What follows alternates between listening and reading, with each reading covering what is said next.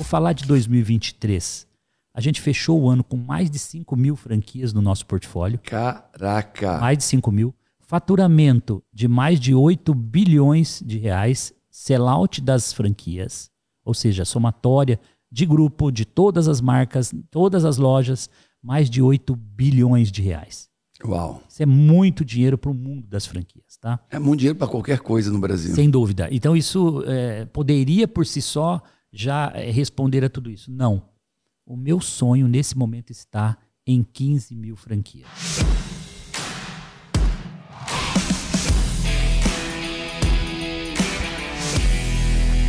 Seja bem-vindo a mais um PVCast, o PVCast do Paulo Vieira. E hoje eu trago um homem aqui que ele é alguém extraordinário, ele faz coisas extraordinárias e ele tem um império, um império das franquias. Eu posso dizer que é a maior expertise, o, o homem que traz a teoria prática do mundo franchising, da franquia no Brasil, e vou dizer, um dos maiores nomes do mundo. E se eu for pegar o histórico dele, o portfólio de franquias, Odonto Company, que é uma das maiores é, franquias de odontologia do Brasil. Posso, é isso. É, a Espaço Laser, a mesma coisa, de depilação, dos maiores do Brasil, se não a maior. É, todas elas, é, Odonto, Espaço Laser, já se posicionada como a número um no mundo. Número um no mundo. É. Aí vem o Kiberi, que também é a número um do mundo. Exato. Aí entra Coté de Paris, Casa X, Instituto Ibeleze, que está crescendo também pra caramba, também já é gigante. É um, é um, negócio de 20 anos já no franchise, muito consolidado, é, que transforma a vida das pessoas através da formação profissional na área da beleza. Então, gente, com vocês, Semenzato, palmas para ele. Caraca! Obrigado. Olha, eu estou nesse mercado há anos e esse nome, Semenzato, é um nome que não está sentado junto com outros nomes. Ele está num altar muito alto de autoridade, competência, teoria, mas muito mais do que isso, realização no mundo das franquias. Mas olha, é, por trás de todo grande empresário tem um grande homem. Tá? Lembremos-nos disso. E eu quero te fazer uma pergunta, começar logo fazer uma pergunta para é, quem está na periferia, quem não tem muitas condições, dinheiro, está fadado ao fracasso, né? Porque não tem muitas oportunidades. É mais ou menos isso? É, isso é o que a maioria das pessoas acredita, né, Paulo? Mas na verdade, eu sou aqui a prova viva que é possível você, depois de ter sido um jovem, é, uma criança é, criada em Lins, na periferia, numa comunidade. Meu pai era pedreiro, minha mãe dona de casa. Ok, eu, ok, ok. Mas desde os seis anos de idade que eu entrei na escola primária pública, com um ano antecipado, eu faço aniversário em março e fui agraciado de poder, com seis anos, começar a, a frequentar a primeira série. Então, já adiantei. Na largada, eu ganhei um ano na, no Começou na primeira escola, série. Primeira série, com seis anos de idade com 12, 13 anos, eu já colecionava. Isso, obviamente, vem da memória, vem da família, vem de tudo que a gente coleciona. Eu já colecionava sempre o primeiro lugar na, na sala de aula, Uau. seja em nota, seja em, em, em dedicação, seja uh, sentando na primeira fila sempre. Ou seja, uh, comecei com pequenos diferenciais que já já a, a audiência vai entender por que, que isso é transformacional. Com 12, 13 anos, Paulo, eu me torno o melhor e maior vendedor de coxinha que Lins teve na história. Não à toa, e para a audiência materializar e entender o que eu estou falando, eu consegui comprar em oito meses de trabalho um Fusquinha 1962 para a família. Mas como assim? O que, que esse Fusquinha tem a ver com toda essa história, Paulo? Meu pai era pastor evangélico e minha mãe, dona de casa, tocava na banda da igreja. E a gente ia para a igreja três vezes por semana. Uma hora e meia a pé para ir, uma hora e meia para voltar. Caraca. Você imagina uma. Né, desde criança no colo e, e choro e não sei o quê. O dia que esse Fusquinha chegou na família. Mudou tudo. Em 10 minutos a gente estava. eu, eu, brinco, Paulo, porque de vez em quando a gente tinha que empurrar o Fusquinha para pegar, porque era 6 volts a bateria. Então, Fusquinha 1.200 cilindrada. Foi o, quase que o primeiro Fusquinha que nasceu aquele com o para-choque ainda todo onduladinho. E a partir dali, uh, eu comecei a entender com 13 anos de idade que, que eu poderia fazer a diferença na vida né, se eu realmente fosse o melhor, se eu me dedicasse a algo que fizesse o bem para as pessoas. Porque eu saía com cestos de 200, 300 coxinhas por volta de 14 horas de casa, quentinha, com aquele cheiro maravilhoso, e em meia hora uh, o, o, meu público-alvo os clientes fiéis. destruía uh, o meu produto de tão bom que era. E era assim, eu voltava para casa 3, 3 e 15, enchia minha monareta Monarch de novo com mais 200, 300 salgados. Então eram 600 salgados em média por dia na parte da tarde. Deixa, deixa eu só dizer uma coisa. Muitos jovens, eles estão querendo receber as coisas prontas, tá? E, e eles dizem assim, não, quando eu tiver o meu negócio, eu vou dar duro. Quando eu tiver aquilo, eu vou dar duro. Você dá duro onde você está naquele momento. Ele deu duro na escola. Na escola ele já se dedicou e se o melhor. O melhor em comportamento, quem senta na frente, quem estuda mais.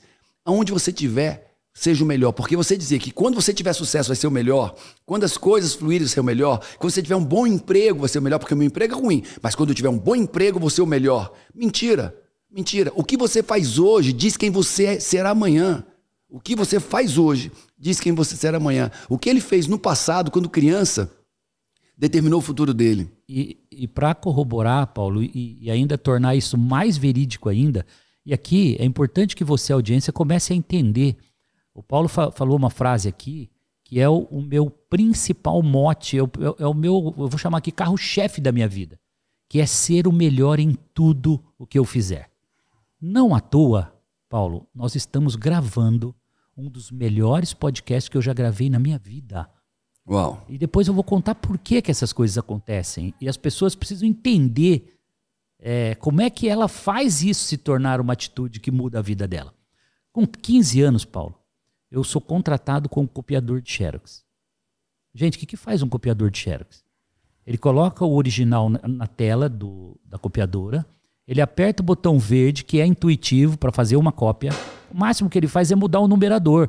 Ah, eu quero cinco cópias, eu quero quatro, quero dez. Nada complexo. Ele aperta o verde e pronto. Aconteceu a cópia. Eu tinha 15 máquinas na, na copiadora, Paulo. Essas 15 máquinas na copiadora, eu quando o técnico chegava para fazer a limpeza, para fazer uma manutenção nas máquinas, eu estava analisando qual era o perfil de cada máquina tecnicamente, porque não tinha 15 máquinas aleatoriamente ali, todas iguais. Cada uma tinha uma característica técnica. Uma escurecia o fundo, com mais, uhum. mais toner, mais pó. A outra eliminava fundo. Então, quando chegava o original no balcão da copiadora, o Semenzato olhava para o original e falava qual é a máquina que te tecnicamente se adequa a esse original. E sabe o que, que eu fiz com isso, Paulo? Eu fiz a cópia ficar melhor que o original. E a pergunta que eu faço para nossa audiência agora, quem é que está acordando para fazer a cópia do dia da atividade dele ser melhor que o original? Caraca! Essa para mim é a grande diferença entre o sucesso e o fracasso, entre liderar e ser liderado. Não tem como você vencer se você não fizer a cópia ficar melhor que o original. E olha, e olha só, ele não está dizendo que fez isso para ser promovido, ele não está dizendo que fez isso para ganhar dinheiro, ele não está dizendo, ó, eu fui intencional, eu fiz a melhor cópia porque eu era intencional para ser promovido. Não, ele fez isso porque é o caráter dele, é a visão de vida, o estilo de vida, ser o melhor que ele pode ser. Ele fazer melhor do que o original. Pessoas hoje estão dizendo, eu vou ser intencional. Pra... Não, não funciona. Por que, você não seja simplesmente autêntico e verdadeiro e seja o melhor que você pode ser por ser o melhor? É porque... o simples e natural, é isso. E sabe o que, que eu ganhei com isso? E a maioria das pessoas eu ouço, eu faço tudo o que eu posso, eu faço muito mais e eu não sou reconhecido. E aqui eu queria dizer, outra mentira. Caraca. Porque o Semenzato fazendo a diferença naturalmente, encantando os clientes no balcão da copiadora, Paulo, eu fui visto pelo seu Valmir. O seu Valmir foi a figura que olhou para mim e falou: Você é diferenciado. Talvez eu nem soubesse da minha dedicação, do meu diferencial. E o seu Valmir falou: Eu, eu dou consultoria para uma construtora e material de construção, um grupo gigante aqui em Lins, na época, 16 anos de idade. Paulo, 16 para 17 anos, estava concluindo meu curso técnico em processamento de dados, onde eu fui aprender a programar computadores. Essa foi a segunda coisa que mudou para sempre a minha vida. Foi com 14 anos eu ter ido fazer um curso de final de semana. A primeira foi vender coxinha? É, a primeira foi vender coxinha. A segunda foi fazer um curso com 14 anos de final de semana, enquanto a maioria ia para balada, enquanto a maioria ia é, é curtir a, a pelada do final de semana, o, o futebol. O Semenzato ia estudar, fazer um curso livre no sábado à tarde. E eu aprendi a programar computadores com 14 anos de idade. No balcão da copiadora, eu não estava tirando cópias. Eu estava fazendo o encantamento dos meus clientes. E naturalmente, eu sabia ou eu imaginava que o seu Valmir ia surgir na minha vida. E se não fosse o seu Valmir, ia ser o seu Alberto, alguém ia me ver. E ele falou: Você é diferenciado. Nas nossas conexões, porque enquanto eu fazia cópia, eu falo: O que, o senhor faz, seu Valmir? Seu Valmir, o que, você está fazendo, Semenzato? O que, que você estuda? Eu estou programando computadores, seu Valmir. Já estou desenvolvendo um sisteminha de contabilidade de folha de pagamento. Eu comecei a mostrar para ele que o meu olhar, o meu sonho não estava ali na copiadora. Eu estava muito longe dali, o meu, o meu alvo. E ele viu sonho. alguém diferente de você e começou a investigar. Eu gostei desse menino. Deixa eu saber mais dele, deixa eu saber qual é a visão de futuro, deixa eu conhecer ele. Essa história iria muito longe. Porque eu vivi os diferenciais dessa minha entrega melhor do que os meus colegas. Eu fui promovido a gerente da copiadora com 16 anos. Com um ano depois, eu, eu era o gerente de 22 copistas da copiadora. Eu, eu, eu liderava tudo isso. Porque eu estava preocupado. Eu fazia manutenção das máquinas. Eu não era é, operador de Xerox é, pleno ou gerente geral. Eu era um simples copiador de Xerox.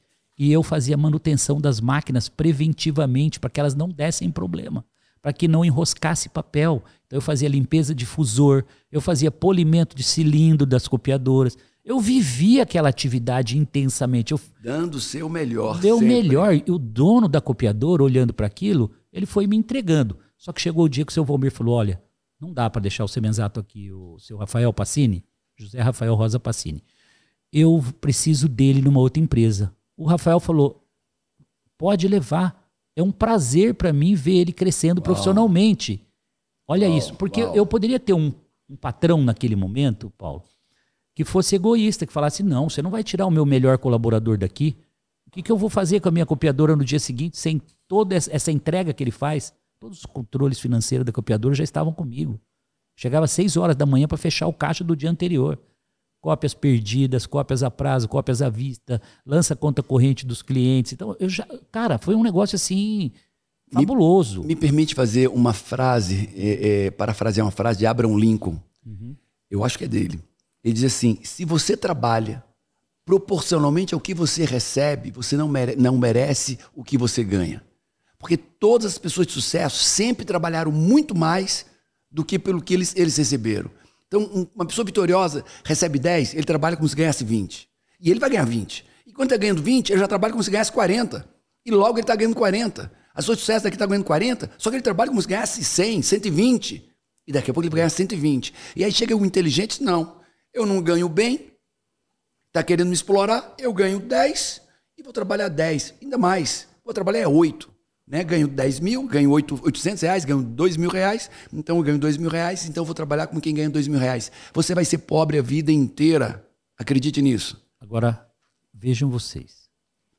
O melhor aluno, o melhor vendedor de coxinha, o melhor copiador de Xerox, o melhor aluno em sala de aula no curso técnico em processamento de dados. Sabe o que me rendeu ser o melhor aluno no curso técnico? Com 17 para 18 anos, eu sou convidado para ser professor segundo grau no colégio que eu estava me formando. Caraca! Por falta de programadores naquela época, técnicos. Eu não tinha pedagogia com 18 anos, eu não fiz é, nenhuma faculdade superior para lecionar. Para lecionar. E eu fui dar aulas das 7 às 11 da noite. E aí foi uma jornada de cinco anos. Durante o dia, desenvolvendo sistemas de computadores, onde eu fiz o maior MBA da minha vida, o melhor MBA do mundo, porque eu aprendi nesses cinco anos programando computadores nesse grupo, Paulo, como é que faz a gestão de uma empresa.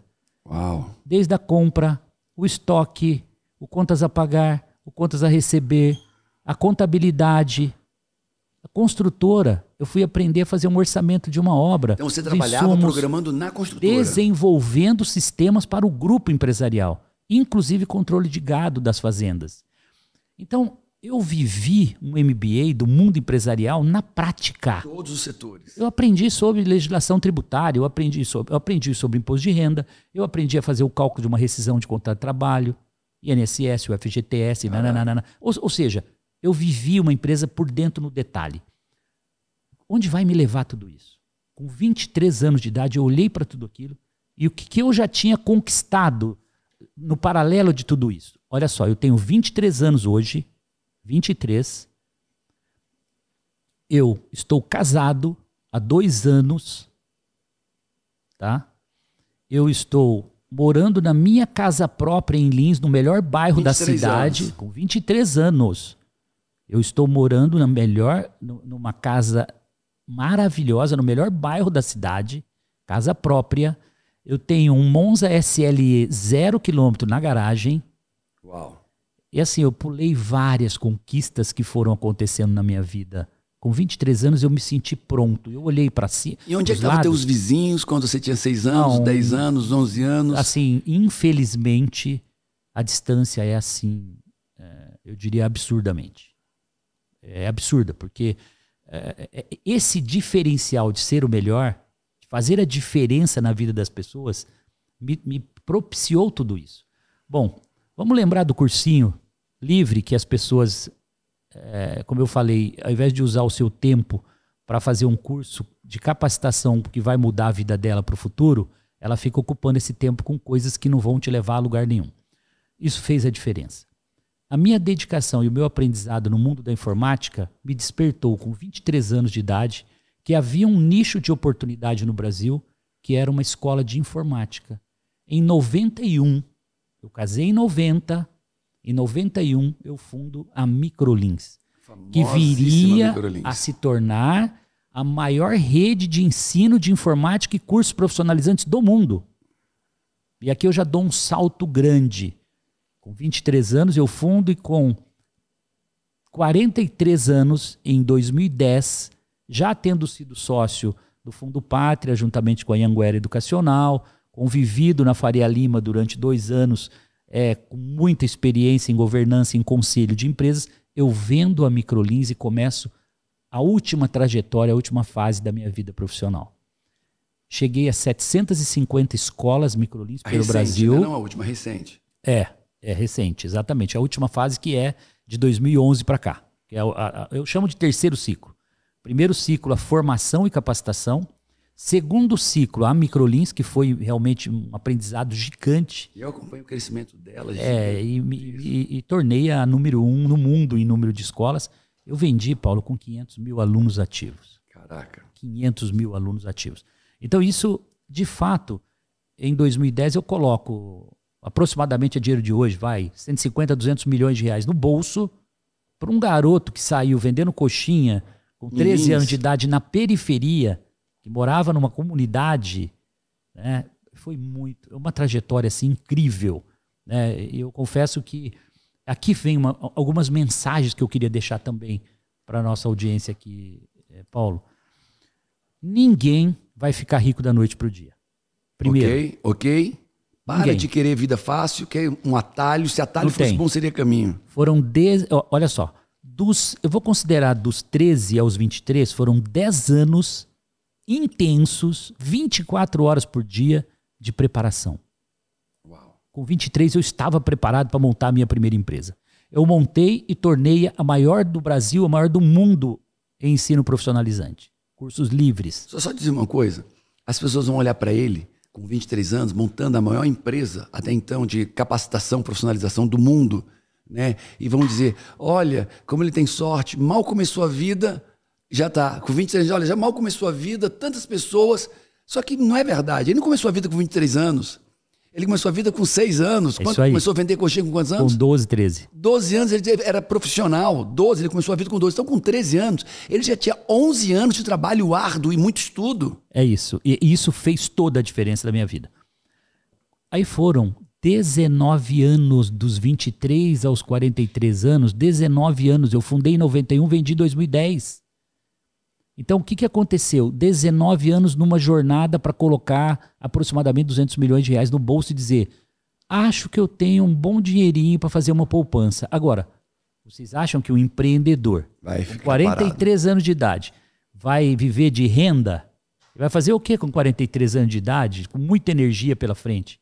Eu recomeço, crio a SMZTO Holding e hoje a maior plataforma de franquias, 100% franquias, é, eu diria, do Brasil.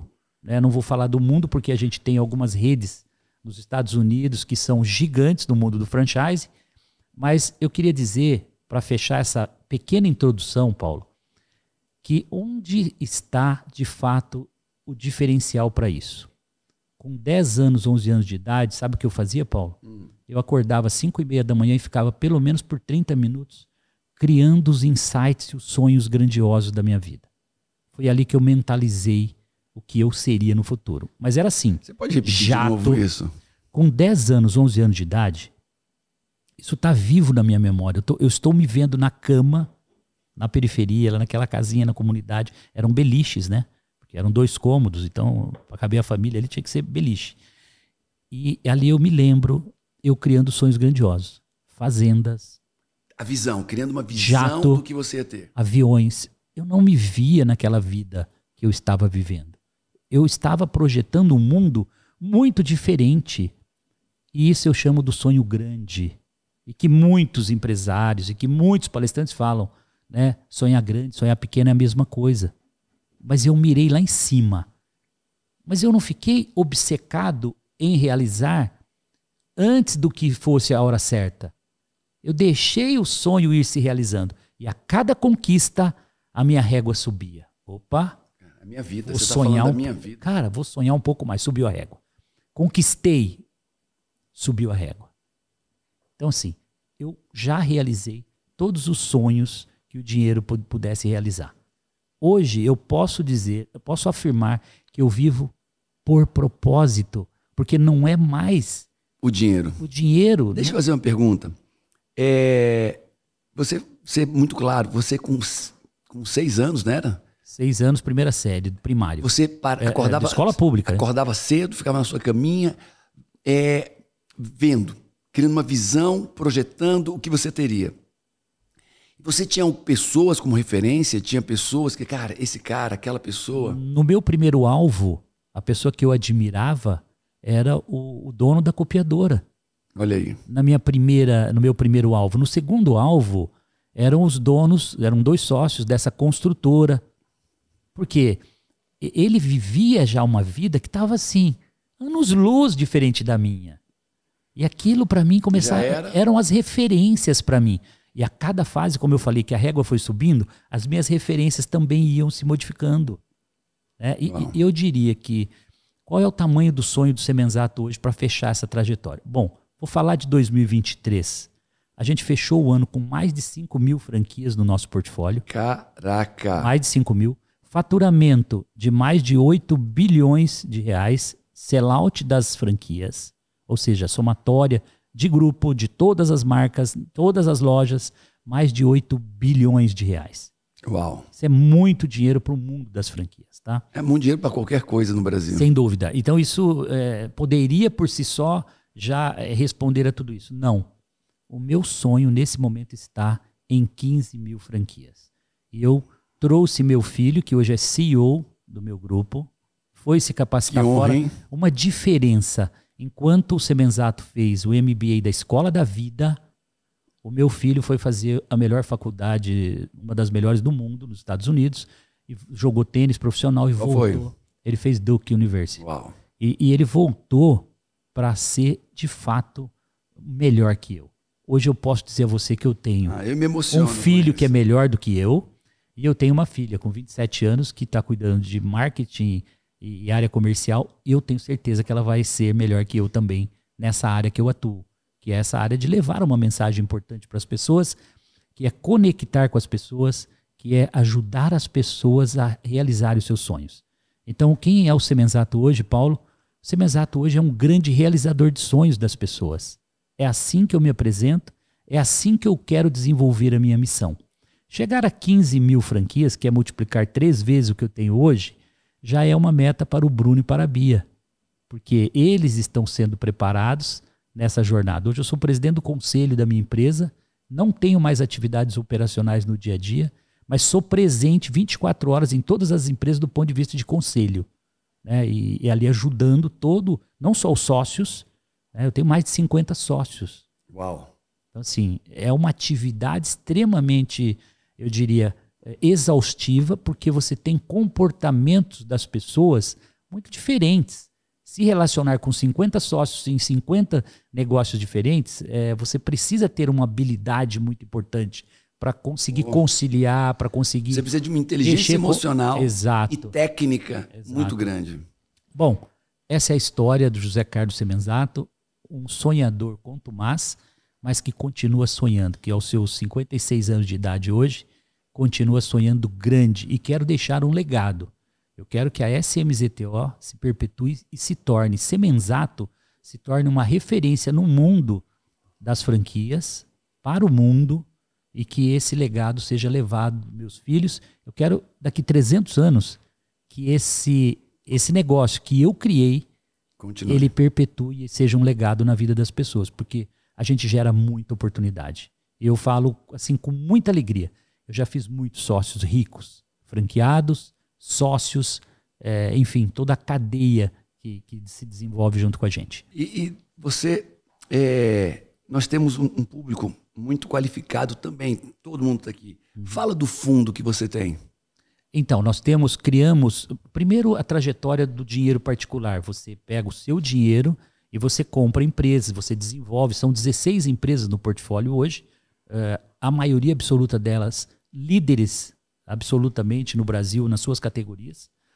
E, e quando a gente começou a entender que a gente poderia multiplicar esse crescimento, que não dava para esperar o ciclo do investimento uhum. e do desinvestimento para pegar o lucro e reinvestir de novo, a gente poderia acelerar isso. O Bruno já trouxe o novo mindset e por isso que eu digo que o Bruno, Bruno é filho. o meu filho, Bruno Semenzato é melhor do que eu que é o momento que ele, ele cria, junto com um timaço que ele montou dentro da empresa, o nosso primeiro FIP, isso em 2019, 2020, no início ali da pandemia.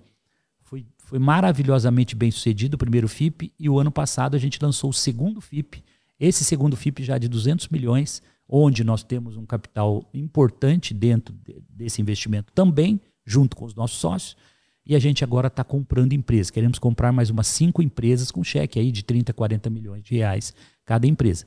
Lembrando que a gente começou fazendo já, cheque de já cinco. Já estão rampando, empresas já estão... Sim, tem, temos hoje Terça da Serra já com 100 é, casas pelo Brasil.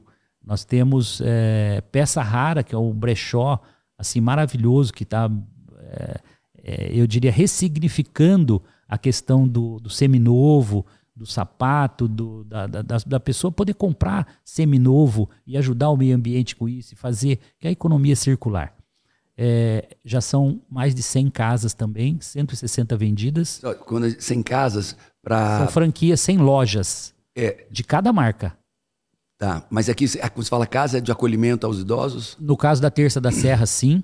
São 100 casas de residência para moradia de, de pessoas idosos. acima de 60, 65 que não podem mais serem cuidadas em casa por N motivos, porque a família trabalha, porque ela fica sozinha e a gente então está eh, é, nesse projeto expansivo. E o, os brechós, que já são mais de 100 lojas do Peça Rara pelo Brasil todo. Caraca. Esses projetos são para chegar a 400, 500 unidades cada uma, tá? Depois o Oakberry, que é uma rede de açaí que é, começou aqui no Brasil, a gente entrou, essa empresa devia ter aí 50, 60 é, quiosques aqui no Brasil. Hoje nós estamos em 40 países no mundo. Então, um negócio assim internacional que ganhou uma dimensão, expandindo muito forte nos Estados Unidos. Um negócio gigante. Dentre outras, a, na área da odontologia, você citou no início, nós temos mais de 2.500 clínicas hoje no Brasil. Esse é um negócio gigante. Caraca. É, nós somos a número um do mundo em número de clínicas odontológicas. Odonto Company, Oralsim, e Ortodontic. São três marcas no, no grupo. Só, só para lembrar, só para resgatar, isso é um império criado por aquele menino, filho de um pedreiro, de uma dona de casa, no subúrbio de São Paulo. É, na, per, na periferia. periferia, de Lins, que é, é, no interior de São Paulo. Interior de São Paulo. É. Essa é a verdadeira história. Deixa eu fazer uma perguntinha que está aqui que mando. Seu pai era pastor? Sim. É, eu sou cristão também. Sim. É, qual foi o legado que seu pai e sua mãe deixaram na construção desse caráter, desse menino que virou esse homem, o, o maior nome das franquias do Brasil, da América Latina, dos maiores do mundo? Tudo. Eu diria que a minha referência é, foi é, a escola dominical.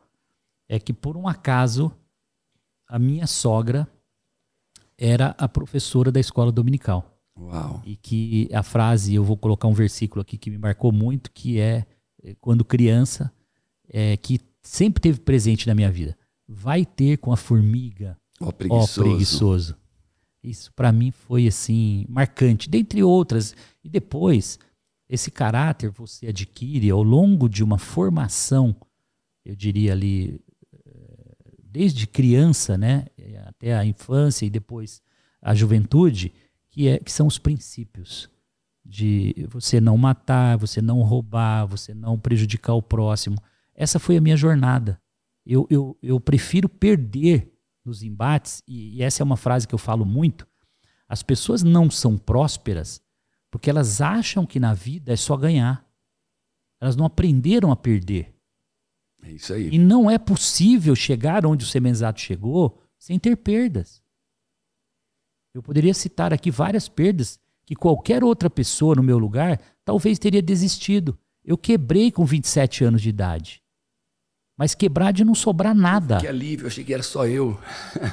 Paulo, com 27 anos, eu tinha 17 escolas próprias e eu caí no financiamento bancário com leasing de computadores corrigido pelo dólar. Meu Deus, eu lembro dessa época. 94, plano real. 94 disparou o dólar, 95 eu estava falido.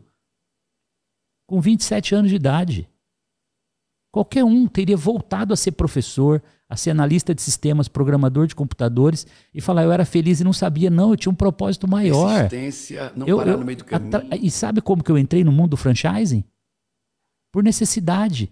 Porque ou eu fecharia as 16 escolas, porque não tinha mais dinheiro para tocá-las, a, a, prestação cresceu tanto que era maior do que a receita, a despesa maior que a receita. Eu franqueei 16 unidades da Microlins e ali eu me salvei, eu me safei ali através do mundo das franquias. Porque Ou seja, foi o problema, vivo? o problema eu que para um seria destruidor. Eu entrei por necessidade. Foi o problema que para um seria destruidor e de, de, decretaria o fim deles. Para você foi Nasce o... o franchise na minha vida e nunca mais eu saí dele. Eu, eu entendi que havia um propósito gigante aqui. Né? Dentre outras, eu, eu poderia citar aqui uma perda que para mim foi talvez das mais relevantes da minha vida. Com 37 anos de idade, Vejam só, 37 anos, eu já era gigante. Eu já ganhava muito dinheiro. E dei um carro novo de presente para os meus pais. Eles, eu já tinha construído a casa dos sonhos deles lá em Lins, tá? Meu pai era pedreiro, mas não tinha a casa dele. Oh, e aí eu construí o sobrado dos sonhos dele, com banheiro de hidromassagem, do, sonho do jeito que ele queria. E moraram um ano e meio nessa casa aí, lá em Lins. Ele tá vindo buscar um carro novo em São José do Rio Preto. E olha o que é a ironia do destino. Né? Segunda-feira eu falei, pai, não venha buscar o carro enquanto eu não te falar que. Enquanto eu, eu, te, eu não te avisar que está pronto o carro. Não venha. Eu dei a ordem. O carro ficaria pronto só na quarta. Na terça-feira, ele pega o carrinho, vem com ele com a minha, com a minha mãe. De surpresa, dez e meia da manhã, faltando dez minutos para chegar em São José do Rio Preto, uma carreta sai da, da mão de direção, invade a pista contrária, passa em cima dos dois, literalmente arrastou 100 metros e ali encerrou a, a trajetória do, dos meus pais. Eles faleceram no local, nem sabem o que aconteceu. O que, que eu faço agora? 37 anos, perdi o, o meu chão, a coisa mais importante da minha vida. Eu fiquei seis meses em depressão, eu achei que eu não voltaria a ser mais aquele semenzato, motivado, que queria mudar a vida das pessoas. Eu cheguei a andar com foto da minha médica aqui do Einstein na carteira durante esse período, entregar celular para minha mulher e falar: Eu não quero notícia ruim nem notícia boa. Então, assim, eu vivi um luto muito intenso durante seis meses. Mas Deus me deu o conforto, eu fui entender que tudo aquilo que às vezes a gente acha que há uma proteção para nossa matéria, para o nosso físico, eu definitivamente fui entender que ela diz respeito muito à vida espiritual. E que se a gente não cuidar dessa passagem nossa, dessa matéria que a gente é aqui, a gente vai embora muito cedo, ou eventualmente numa fatalidade, você pode ir também. Não há uma proteção absolutamente direta para isso. Não. Mas eu demorei para entender, porque a gente cresce, principalmente o cristão, com uma fé tão grande que ele fala: Deus vai me livrar de todas as dificuldades ou as tempestades que vão surgir. E ali eu pude entender, isso foi uma grande transformação na minha vida. Principalmente, Semenzato, você não pode tudo. Porque todo o dinheiro que eu tinha, Paulo, naquele momento, os amigos médicos de São José do Rio Preto, das, das UTIs, e helicóptero e tudo, não resolveram. Eu liguei para todos eles não naquele teve momento. dinheiro que desse jeito não ali. teve. Simplesmente eles voltaram para mim, os amigos, dizendo: não tenho o que fazer mais, infelizmente, nada, Nós nenhum recurso. Bíblia Diniz aqui, agora Isso. com todo o dinheiro. É isso. não- não teve então, jeito. a mensagem que fica, né, assim, viva o presente, seja intenso. Eu estou, nesse momento, como eu falei no início, gravando o melhor podcast da minha vida. Uau. Porque eu estou dedicado, eu tô, estou falando do meu coração para o coração da audiência. Eu estou levando uma mensagem verdadeira. Eu não tenho interesse de ganhar seguidores, eu não estou interessado em que alguém, um a mais, ou dois, ou mil, ou dez mil, me siga. Eu quero que as poucas pessoas que ouvirem com atenção, do começo ao fim, que elas sejam verdadeiramente transformadas com essa mensagem. Que elas passem a olhar o mundo e o futuro de forma diferente, que elas entreguem mais no seu dia a dia, mas não é só no trabalho, que elas que seja um melhor marido, que seja uma melhor esposa, que seja um melhor filho, que seja um melhor avô, não importa, um melhor patrão também, por que não? Porque é assim que as coisas boas vão acontecer na sua vida. Não tem outra forma. E olha, ele falou e ele repetiu, mas eu quero explicitar para você. O pai dele, a mãe dele, é, não deixaram herança, mas deixaram um legado. A herança é material, o legado, porque a herança eu deixo para alguém, o legado eu deixo em alguém. É. E eles deixaram um legado em você. E ele falou dos filhos. E ele foi muito claro também, nas entrelinhas, com muita clareza, é, tem herança, mas o que ele está deixando é um legado. É. Nos filhos, está deixando a herança, mas está deixando um legado Sim. que vai durar 300 anos. É porque os filhos entenderam isso, porque isso entrou no coração dos filhos. Isso é, é extraordinariamente lindo. Ou seja, seus pais cumpriram a missão. Eu não tenho dúvida. E claro que, como Caraca. eu falei, leva um tempo para a gente entender, porque a vida ela traz é, mensagens para a gente a todo instante de formas diferentes. E a grande inteligência, eu diria, do ser humano é aprender a entender esses movimentos. Dá o da significado correto. dar o significado correto, porque eu poderia ter interpretado de forma muito errada. É. Né? Por que, que Deus não livrou os meus pais? Eles, meu pai se entregava, já não trabalhava mais nessa época, ele só pastoreava e só visitava hospitais, pessoas enfermas. Ele já vivia porque ele era o propósito da vida dele, né? Mas eu soube entender essa mensagem e estou aqui exatamente. Deus, Deus chamou de esse homem é tão extraordinário. Eu amo tanto esse homem, essa mulher, É isso. que eu quero eles pertinho de mim. É a melhor, é a melhor interpretação de fato e eu tenho certeza que eles estão num lugar muito, muito, muito é, daqui a feliz, 300 maravilhoso. Anos, daqui a 300 anos, né? Talvez as pessoas tenham esquecido de você, até dos seus filhos, mas tem uma história, um legado espiritual, quântico nessa jornada que seus pais estão lá como levantando a bandeira onde tudo isso começou. É isso. É lindo. É uma, uma história bacana e eu não canso de é, contar, porque eu tenho certeza que na sua audiência tem muita gente que não conhece essa história do Semenzato, né? um vendedor de coxinha que está realmente sonhando grande e levando uma mensagem de transformação para as pessoas. E eu falo abertamente: é possível sim você nascer numa família pobre, humilde e mudar o status quo da sua vida. E só depende de você. Não espere por ninguém. Não só fique esperando por oportunidade. Não espere. Olha, eu estudo comportamento humano. Uhum. Como é que eu faço? Eu vejo homens de sucesso, mapeio, entendo o caminho, a maneira de pensar, o comportamento, checo com outros homens e mulheres de sucesso e vou mapeando e transformo isso num mapa. É, eu estou trabalhando é, é, num desses mapas. E nesse mapa que eu estou trabalhando, o sucesso começa na ambição. E você deixou claro que você sempre foi ambicioso, sempre ambicionou. Seis grande. anos na cama olhando. E depois da ambição, para que isso chegue aos resultados, vem uma visão positiva de futuro, essa projeção. E ele ficava projetando o avião, a casa. Só coisa boa. Projetando. Grandes. Ambicioso, projetou, viu, viu aqui na mente. Depois ele trouxe as referências, que é o terceiro passo, as referências. Primeiro o patrão lá da copiadora, depois o patrão da, da construtora, da, do, do agro. A régua foi subindo. E o quarto passo são os aplausos. Você vê a, a, admiração e a honra que ele dá às pessoas. Ele aplaudia os patrões dele, aplaudia o dono da construtora, aplaudia, porque você não vai ter sucesso se você não aplaudir, aplaudir o sucesso alheio. Só tem sucesso quem aplaude o sucesso alheio. E o, e o quinto passo foi a preparação. Você viu que toda a jornada dele foi permeada de uma preparação intensa no colégio, melhor aluno, na programação, o melhor aluno. Não pude fazer a melhor faculdade no Brasil, né? Fiz um curso técnico em processamento de dados, mas eu fiz o MBA da Escola da Vida, que me preparou com certeza para enfrentar os desafios né, que viriam pela frente. Isso é para dizer que sucesso tem regras, sucesso deixa rastro, tá certo? Se você quer ter sucesso, ouça esse podcast, Veja como ele se comportou. Escreva, transforme isso aqui numa aula. Mapeie o que ele fez. Sucesso deixa pistas, sucesso deixa rastro, sucesso não acontece por acaso. O Semenzato não está aqui por acaso, não construiu o que ele construiu por acaso, não construiu a família por acaso, não tá, tem esse legado por acaso.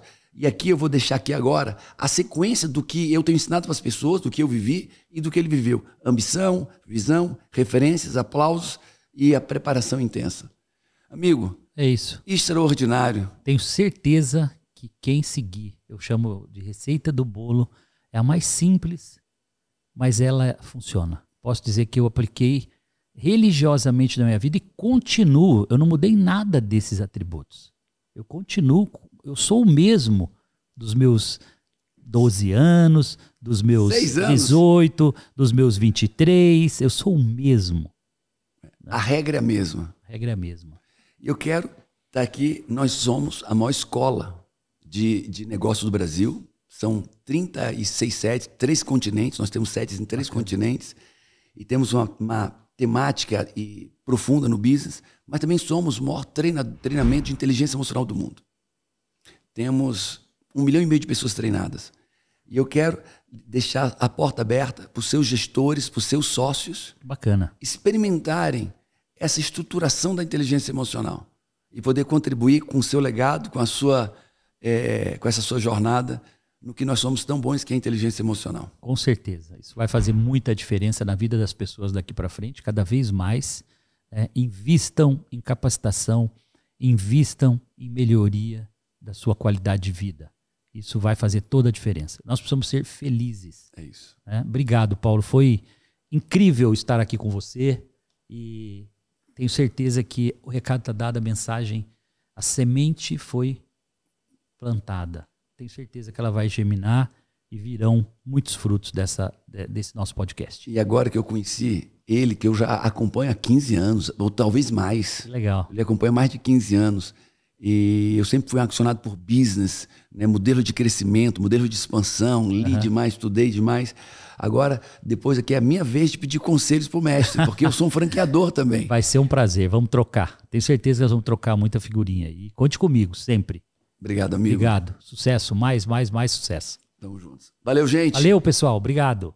Não olha nos meus olhos não, tá bom? Mas me responde. Você está seguro com a tua vida financeira? Você tem pago todas as contas? Teu cartão de crédito está ok? Tua conta bancária está ok? Você tem dinheiro sobrando na sua conta bancária e você se sente seguro com o seu futuro financeiro para você e para os seus?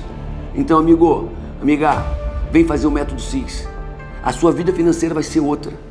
A sua segurança financeira e a sua liberdade financeira vai ser outra depois do método CIS, o maior treinamento de inteligência emocional do mundo. E só para você que está aqui, clica nesse botão agora e você vai ter 40% de desconto no método CIS. E sua vida financeira será outra. Você vai para um outro nível financeiro, de liberdade financeira, de independência financeira. Clica agora. Muitas fichas caíram daquele momento para cá, que revolucionou e transformou a minha vida. Parar de contar historinhas e me tornar a melhor versão de mim. Um alívio muito grande, tá? E um empoderamento muito grande. Havia uma danusa escondida, uma danusa num casulo. Eu comecei a descobrir muita crença ruim que me bloqueava. Aqui, descobrimos que tinha uma versão nossa muito melhor, mais guardada. Me transformei numa melhor mãe.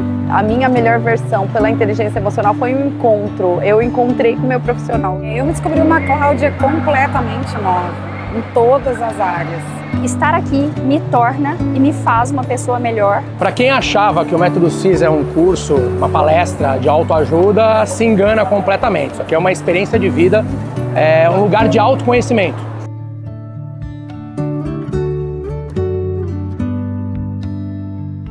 ter uma alta performance para nossa vida pessoal, como pais, como empresários, na nossa vida espiritual, é, para a gente romper financeiramente, para a gente projetar mais sonhos. Hoje tem três anos a nossa empresa. Nós chegamos em 10 países, mais de 700 atendimentos personalizados. Consegui faturamento 10 vezes mais, coisa de um ano e meio. Mexeu meu pilar financeiro, meu pilar conjugal. Eu já vivi num casamento bom, mas melhorou.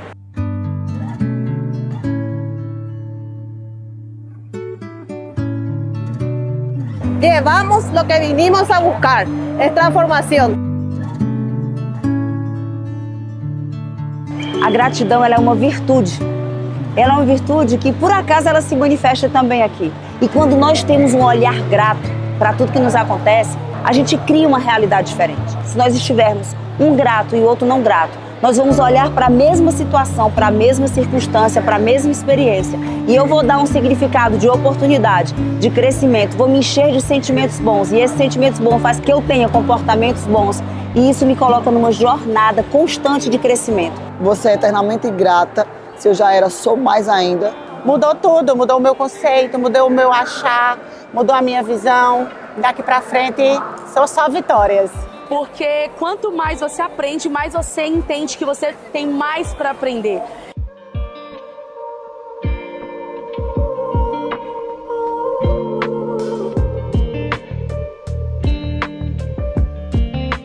Eu nunca me senti tão amada eu me senti aqui.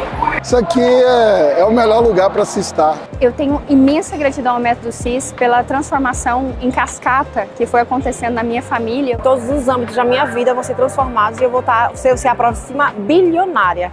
Então, graças ao Método CIS, hoje eu posso viver tudo que eu vivo hoje. É muita gratidão ao Paulo, à Camila. Tá a melhor inversão da vida. Sim. Aê! Aê!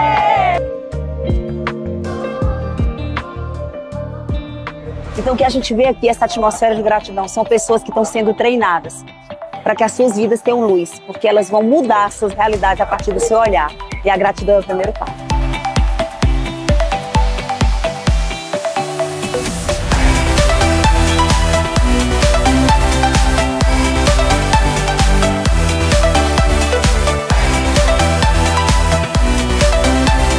Amigo, amiga, o que mais você vai ter que perder até você tomar as rédeas da tua vida e mudar? O que mais vai ter que perder até assumir o comando da tua vida?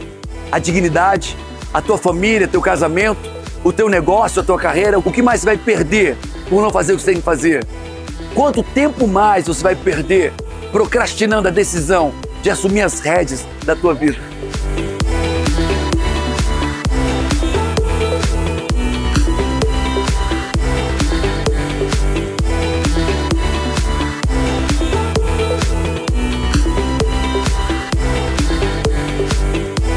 Desejo do meu coração é que às sete horas da manhã elas saiam daqui posicionadas em suas vidas, literalmente se levantando. Quando elas saem daqui dizendo assim: Eu sei, porque sei que fui chamado para grandes obras e que ainda dá tempo de fazer nova todas as coisas.